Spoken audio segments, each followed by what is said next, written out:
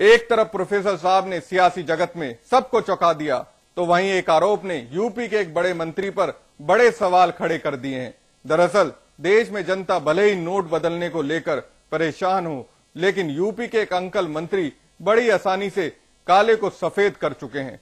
मंत्री गायत्री के बाद ऐसा आरोप यूपी के दूसरे मंत्री पर लगा है। वो भी दूसरों की बखिया उधेड़ने वाले मंत्री पर। देखिए, ब्लैक एंड व्हाइट खेल की पूरी कथा।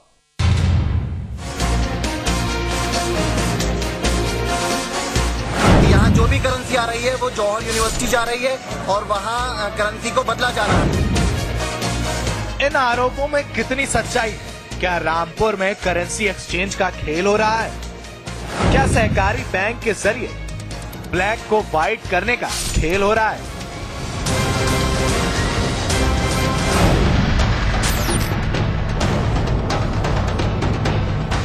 क्या कैबिनेट मंत्री इसमें शामिल हैं? सवाल अहम है। क्योंकि जो आरोप कांग्रेस के नेता फैसल लाला लगा रहे हैं, वो बेहद संगीन है।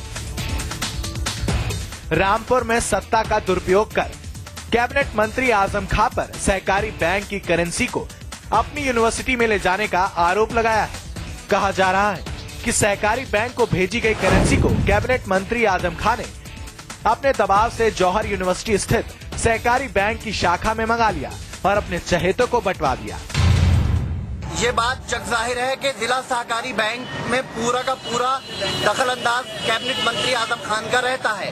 उसके जो चेयरमैन हैं, वो आज़म खान के बहुत करीबी सहयोगी हैं। और वहाँ पे लोगों को इतनी दिक्कत आ रही है, लोगों को करेंसी नहीं दी जा रही है। अभी तक नया नोट किसी को नहीं मिला है। और पुराने नोट भी 100-500 से ऊपर नहीं दे रहे हैं वो लोग। क्या रामपुर में हो रहा है? काले को सफ़ेद करने का खेल। क्या कैबिनेट मंत्री आज़म खां भी हैं इस खेल में शामिल? आरोप है कि जिला सहकारी बैंक के चेयरमैन सलीम कासिम समाजवादी पार्टी के कार्यकर्ता हैं और कैबिनेट मंत्री आज़म खां के बेहद करीबी भी।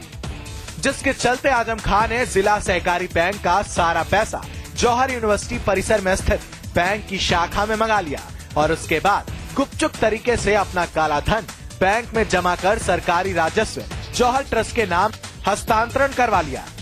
फैसल लाला की यदि माने तो जिला सहकारी बैंक के किसी अफसर ने उन्हें ये जानकारी गोपनीय तरीके से दी है। फैसल लाला ने इसकी शिकायत पीएम, वित्त मंत्री और आरबीआई गवर्नर से की है। साथ ही इसकी जाँच की मांग की है।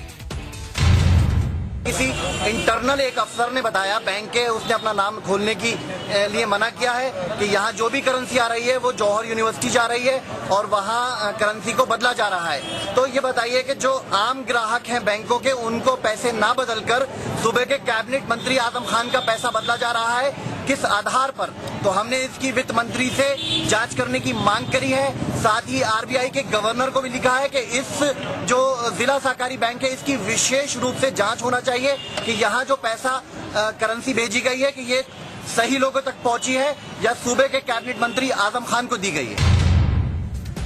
समाजवादी पार्टी के ही परिवहन मंत्री गायत्री प्रजापति पर भी इससे पहले काला को सफ़ेद करने का आरोप लग चुका है।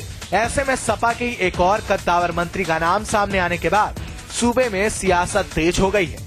अगर इन आरोपों में जरा भी सच्चाई है तो ऐसे में सवाल उठ रहे हैं कि सवाल ये कि आखिर समाजवादी पार्टी और पार्टी के बड़े समाजवादी नेताओं को पीएम मोदी से नोटबंदी के लिए मोहलत की क्यों ज़रूरत पड़ी? शन्नु खान, रामपुर, समाचार प्लस।